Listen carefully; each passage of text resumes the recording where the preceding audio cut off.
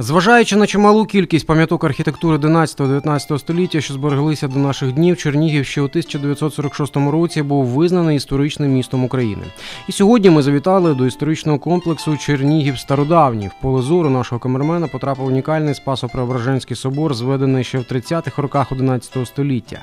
Про унікальність архітектурно-історичної місцини розповідає науковець Сергій Сергієв. І безумовно однією з таких перлин нашої стародавньої архітектури є Спасо-Преображенський собор, який знаходиться позаду мене.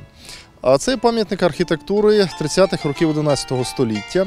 І зведений він був завдяки діяльності чернігівського князя Мстислава, як його звали Мстислав Хоробрий або Мстислав Тмутараканський. Це був один із синів Володимира Хрестителя, який спочатку князював на території так званої Тмутаракані. І коли він повернувся у 1023 році до Київської Русі, після перемоги в 1024 році над військами свого брата Ярослава Мудрого, він князював Чернігові ще 12 років. І слід сказати, що це, цей період був доволі для нашого міста вдалим, можна сказати. Тут, зокрема, був започаткований ось цей перший мурований храм.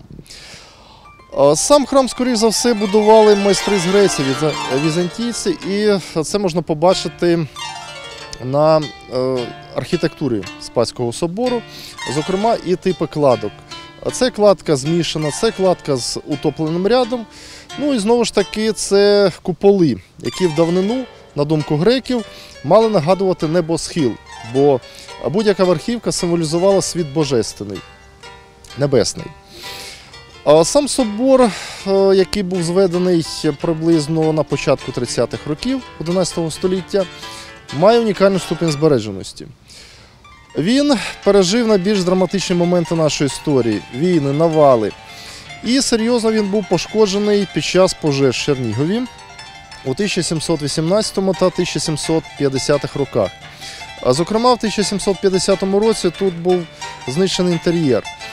Під час пожежі згоріли всі настінні розписи і також іконостас. Майстри, які будували цей собор, греки, привезли з собою чотири великі мармурові колони, які розподіляють центральну частину храму, так званий наус або ж корабель з грецького, на три половини.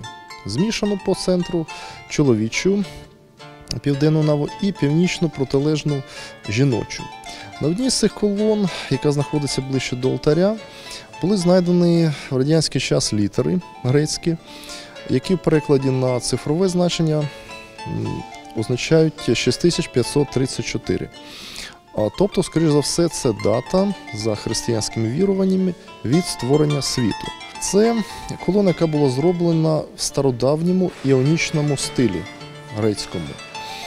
Ось, ну І колонам е, вже більше тисячі років. Але собор був відновлений наприкінці 18 століття і знову був діючим. А в 19 столітті тут були зроблені деякі перебудови. Зокрема, переобладнали верхівки башт із західного фасаду, тому вони трошки нетипові. І деякі туристи навіть запитують, де тут у вас е, е, християнська мечеть. Ось навіть таке. Самі собор використовувалися в давнину, в тому числі і як усипальні для світської та церковної верхівок.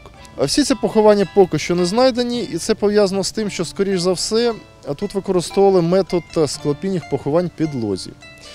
А сучасний рівень підлоги від первинного автентичного підняти майже на метр. Ну і на даний момент собор є діючим і, повторюся, входить до складу нашого заповідника.